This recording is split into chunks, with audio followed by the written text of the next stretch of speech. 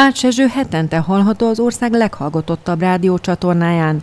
A polgármester a Rádió egy szexári stúdiójában ezen a héten az álló beruházásokról beszélt.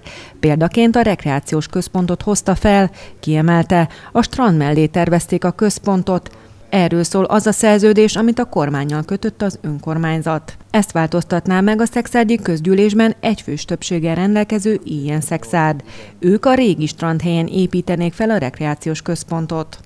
Átsezső szerint a lakosok véleményét is ki kellene kérni a helyszín változtatásáról. A városvezető azt mondta, nem hiszi, hogy a régi strandhelyen megfelelő helyszín egy ekkora beruházáshoz, már csak a parkolás miatt sem. Mindössze 15-20 parkoló található a szóban forgó Toldi utcában. Azt tudjuk, hogy a fürdőnél nyáron egy jó hétvégén, mind amilyen meleg most is van, körülbelül 1500-2000 ember látogat ki a fürdőbe. Ez pedig azt jelenti, hogy minden autó tele van, akkor 350-400 autó. Most, ha belegondolunk, hogy a Toldi utcába ez a 350-400 autó betolulna egy nyári napon, szombat, vasárnap a legterheltebb egyébként, amikor pihenni szeretnének az ott lagok, akkor el lehet képzelni, hogy milyen tumultus lesz. Átsezső azt mondta, ilyen koncepcionális különbségekben az előző közgyűlés döntéseihez szeretné tartani magát, de kész kompromisszumokat kötni az egyfős többséggel.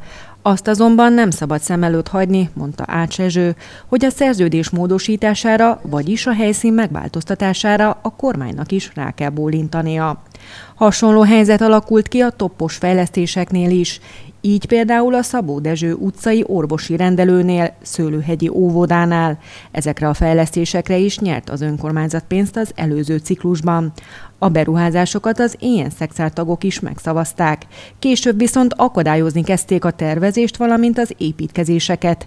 Így azonban a város emiatt elveszítheti a beruházásokra nyert pályázati pénzeket.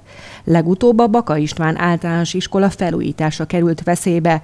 Az ilyen szexártagokból álló gazdasági és városfejlesztési bizottság azonban nem hozott érdemi döntést az ügyben. A gazdasági bizottságnak kéne dönteni abban, hogy melyik kivitelező lesz a nyertes ezt tologatják, húzzák az időt, nem döntenek, mint ahogy általában se mindig ötletelnek, új helyszínézzük meg, új lehetőséget vizsgáljuk meg. Itt most már dönteni kellene, mert a pályázók várják azt, hogy a városnak ez egy 700-800 milliós munkáról van szó, lesz a munka, vagy nem lesz a munka. Szexárd polgármestere két hét múlva pénteken délelőtt lesz hallható a Rádió egy műsorán.